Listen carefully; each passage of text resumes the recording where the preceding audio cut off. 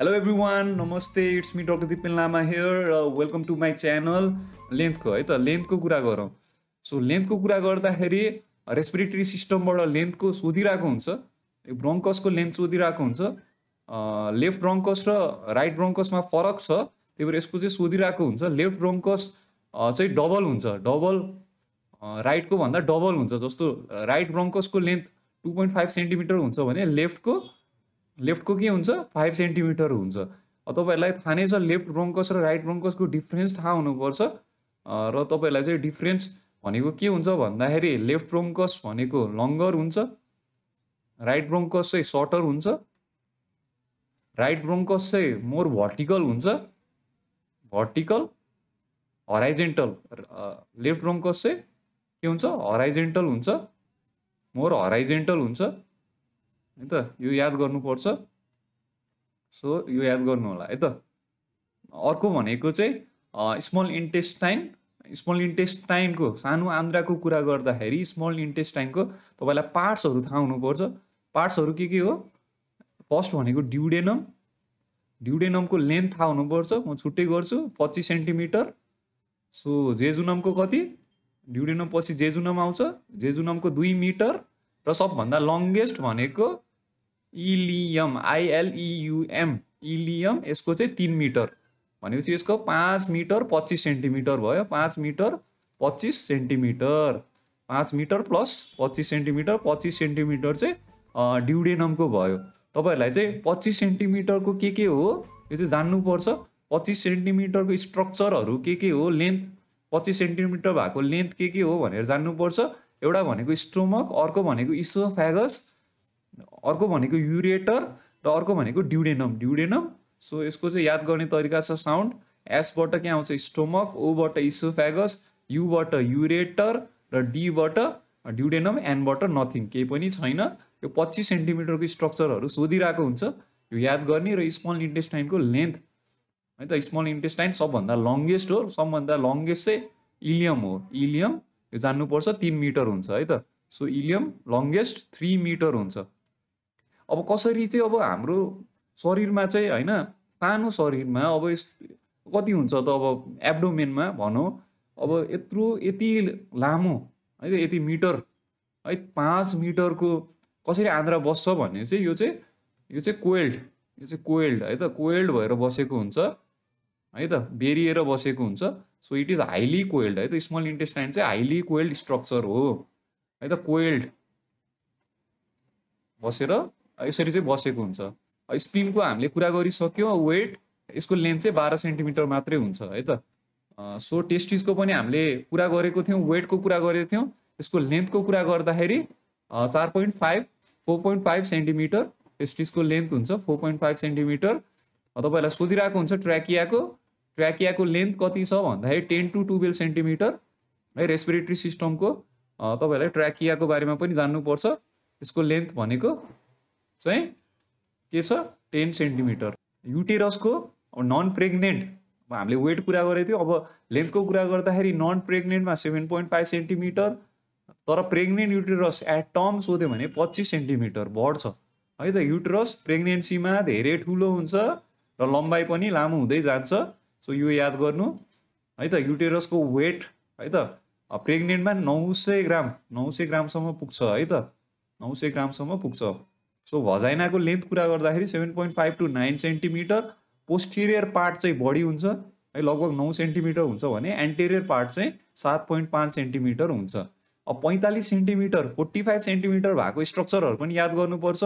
Vast difference मेलमा है त मेलको रिप्रोडक्टिभ स्ट्रक्चर भास्ट डिफ्रेन्स र अर्को भनेको femur femur is the bone strongest bone femur भनेको स्ट्रङ्गेस्ट बोन लङ्गेस्ट बोन र largest bone is the femur सबै कुरा फिमरमै आउँछ है त। सो फिमरको लेन्थ कति छ? फोर्टी फाइभ सेन्टिमिटर र स्पाइनल कर्डको के फोर्टी फाइभ सेन्टिमिटर है त। फोर्टी फाइभ सेन्टिमिटर भएको भास्ट डिफ्रेन्स फिमर र स्पाइनल कर्ड अब भर्फी भर्मिफर्म एपेन्डिक्स एपेन्डिक्सको कुरा गर्दाखेरि यसको नाइन सेन्टिमिटर किनभने लास्टमा एपेन्डिक्सको आइएक्स छ। आइएक्स भनेको रोमन अनुसार नाइन सेन्टिमिटर हो। रोमन न्युमरिकल अनुसार। So nine centimetre is the vermiform appendix यो पनि याद गर्नुपर्छ। एपेन्डिक्स भनेको भेस्टिजियल अर्ग्यान हो। एपेन्डिक्स कहाँ पाइन्छ? Right iliac fossa right iliac फोसामा पाइन्छ। सो एपेन्डिक्सको इन्फ्लामेसन भयो भने एपेन्डिसाइटिस राइट इल्याक फोसा यो याद गर्नुपर्छ। र ल्यारिङ्सको पनि सोधिरहेको हुन्छ। भोइस बक्स ल्यारिङ्सलाई भोइस बक्स भन्छ। भोइस बन्ने ठाउँ ल्यारिङ्स ल्यारिङ्सको चाहिँ मेलमा लामो हुन्छ फोर पोइन्ट फोर र फिमेलमा चाहिँ कति हुन्छ? थ्री पोइन्ट सिक्स सेन्टिमिटर हो। यो सेन्टिमिटरमा हो फोर पोइन्ट फोर सेन्टिमिटर र थ्री पोइन्ट सिक्स सेन्टिमिटर यो मिलिमिटरमा कुरा गर्दाखेरि forty four millimetre thirty six millimetre मेलमा longer हुन्छ ल्यारिङ्स फिमेलमा सर्टर हुन्छ है? फिमेलमा सर्टर हुन्छ। त्यही भएर मेलमा लाउड भोइस हुन्छ। लाउड भोइस भोइस चाहिँ लाउड हुन्छ। मेलमा चाहिँ फिमेलमा चाहिँ हाई पिच हुन्छ। हाई पिच फ्रिक्वेन्सी हाई हुन्छ। सो हाई पिच है? यो चाहिँ याद गर्नुपर्छ। र अर्को भनेको thoracic duct thoracic duct lymph carry गर्ने लिम्फ लिम्फ फ्लुडलाई क्यारी गर्ने हो। लिम्फ फ्लुड भनेको कनेक्टिभ कनेक्टिभ हो। कनेक्टिभ टिस्युमा राखिन्छ। कनेक्टिभ फ्लुडमा राखिन्छ। कनेक्टिभ फ्लुडमा लिम्फलाई थाहा नै छ होला थोरेसिक डगको लेन्थ फोर्टी सेन्टिमिटर हुन्छ सुपेरियर भेनाकावाले माथिल्लो शरीरको रगतहरू चाहिँ हार्टमा ल्याउँछ। इम्प्योर भेनस ब्लड इम्प्योर ब्लडहरू क्यारी गर्ने हो। सुपेरियर भेनाकावा इन्फेरियर भेनाकावाले तल्लोको शरीरबाट इम्प्योर ब्लड हार्टमा ल्याउँछ राइट एट्रियममा ल्याउँछ। र एपेन्डिक्सको मैले कुरा गरिसकेँ। अब रेक्टमको कुरा गरौँ। Rectum part of the alimentary canal र रेक्टममा स्टुल गएपछि के हुन्छ? Urge to defecate urge to defecate दिशा गर्न मन लाग्छ। सो रेक्टममा दिशा गएपछि चाहिँ स्टुल गएपछि फिसेसहरू गएपछि चाहिँ दिशा गर्न मन लाग्छ। यो पनि जान्नुपर्छ। अर्स टु डेफिकेट र स्टुल स्टोर हुने। स्टुल अथवा फिसेसको रिजर्भर भनेको कहाँ हो? रिजर्भर इज रिजर्भर भनेको सिग्मोइड सिग्मोइड कलन हो है त? Sigmoid kiln. रेक्टमको लेन्थको कुरा गर्दाखेरि थर्टिन सेन्टिमिटर कक्लिया तपाईँलाई कक्लिया थाहा होला कहाँ हुन्छ भनेर सोध्छ। कक्लिया एयरमा हुन्छ। एयरको पनि कुन भाग? भित्री भाग। Inner ear? Inner ear cochlea धेरै इम्पोर्टेन्ट छ। सो यसको चाहिँ लेन्थ थर्टी फाइभ मिलिमिटर हुन्छ। र गल ब्ल्याडरको कुरा गरौँ? गल ब्ल्याडर गल ब्ल्याडरको काम के हो भन्दाखेरि यो बायलको स्टोर गर्ने र कन्सन्ट्रेसन गर्ने। कन्सन्ट्रेसन पनि दसदेखि पन्ध्र गुणासम्म है दसदेखि पन्ध्र गुणासम्म बाइललाई कन्सन्ट्रेटेड गर्छ। सो गल ब्ल्याडर पित्त थैली यसको length seven point five centimetre हुन्छ। अर्को छ medulla oblongata medulla oblongata medulla oblongata कहाँ हुन्छ? यो हाइन ब्रेनमा हुन्छ। हाइन ब्रेन हाइन ब्रेन पछाडिको ब्रेन है त ब्रेन तिन भागमा विभाजन गरिन्छ। Fore brain mid brain hind brain hind ब्रेनको part medulla oblongata हो। हाइन ब्रेनको अर्को अरू पार्टहरू के के हो? सेरेबेलम है सेरेबेलम डबल एल याद गर्ने डबल एल जुन जुन हुन्छ सबै हाइन्ड ब्रेन हो मेडुलाको ह्यान्ड डबल एल छ अर्को डबल एल हुने चाहिँ पन्स भ्यारोली भ्यारोली है त भ्यारोली यो पनि हाइन्ड ब्रेनको पार्ट हो तिनवटा भाग हुन्छ hind ब्रेनको medulla oblongata cerebellum pons varolii यसको अब मेडुलाको length two point five centimetre अर्को किडनीको युनिट नेफ्रोन यसको लेन्थ सिक्स सेन्टिमिटर सो अरू पनि पढौँ हामी।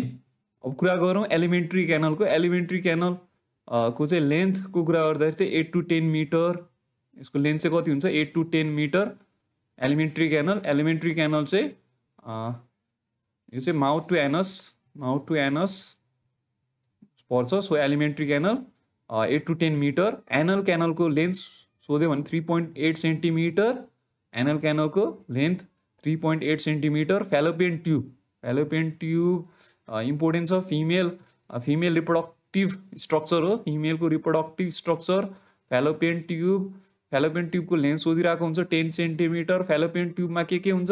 एम्पुला एम्पुला मेन चाहिँ एम्पुला हुन्छ। एम्पुलामा के हुन्छ? फर्टिलाइजेसन हुन्छ। फर्टिलाइजेसन हुन्छ। फर्टिलाइजेसन स्पम र ओभम भेट्छ र जाइगोट बनाउँछ। र अर्को चाहिँ इक्टोपिक प्रेग्नेन्सी हुने कमन ठाउँ भनेको ampulla of the fallopian tube अथवा फेलोपेन ट्युबलाई के भन्छ? युटेराइन ट्युब युटेराइन ट्युब पनि भन्छ है त? यसलाई चाहिँ युटेराइन ट्युब पनि भन्छ। र एम्पुला बाहेक अरू पार्टहरू चाहिँ के के हो? इन्फन्डिबुलम इन्फन्डिबुलम इन्टरस्टिसियम इन्टरस्टिसियम अथवा इन्टरस्टिसियल पार्ट र स्मिक पार्ट है त? यो चाहिँ जान्नुपर्छ। यो चारवटा पार्ट्स हुन्छ फ्यालोपेन ट्युबको र युरेथ्राको कुरा गरौँ फिमेल र मेल युरेथ्रा एकदम लेन्थमा एकदम डिफ्रेन्स छ. फिमेल युरेथ्रा एकदम सर्ट हुन्छ। Only four centimetre only four centimetre युलाई four बनाए हुन्छ। सो फिमेल युरेथ्रा चाहिँ फोर सेन्टिमिटरमा चाहिँ मेल चाहिँ एटिन टु ट्वेन्टी सेन्टिमिटर यसको डिफ्रेन्स मेल र फिमेलको डिफ्रेन्स कति हुन्छ भन्दाखेरि लगभग फोर्टिन सेन्टिमिटरको डिफ्रेन्स हुन्छ। त एटिन माइनस फोर भन्यो भने फोर्टिन हुन्छ नि त। सो यति डिफ्रेन्स हुन्छ भने चाहिँ male urethra eighteen to twenty centimetre हुन्छ। हार्टको लेन्थ खासै सोध्दैन टेन सेन्टिमिटर किडनीको पनि इलेभेन सेन्टिमिटर खासै सोध्दैन। ओभरीको two point five to three point five centimetre फ्यारिङ्सको सोधिरहेको हुन्छ फ्यारिङ्सको टुवेल्भ टु फोर्टिन सेन्टिमिटर फ्यारिङ्सको कति छ? टुवेल्भ टु फोर्टिन सेन्टिमिटर फ्यारिङ्सको पनि तिनवटा पार्ट्स हुन्छ नेजो फ्यारिङ्स ओरो फ्यारिङ्स र ल्यारिङ्गो फ्यारिङ्स फ्यारिङ्सको पनि के छ? तिनवटा parts naso pharynx oro pharynx र ल्यारिङ्गो फ्यारिङ्स यति चाहिँ मैले इम्पोर्टेन्ट अर्ग्यानहरूको लेन्थ स्ट्रक्चरहरूको लेन्थ र वेटको कुरा गरेँ आज यदि भिडियो मन पऱ्यो भने प्लिज लाइक गरिदिनु होला सब्सक्राइब गरिदिनु होला र सेयर गरिदिनु होला।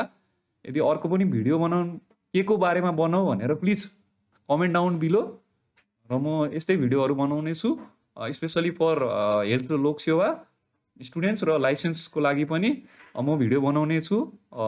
दिस इज के भने अलिकति यो जनरा मेरो लागि चाहिँ न्यू हो। युट्युबमा चाहिँ मैले भिडियोहरू राखेको थिएन।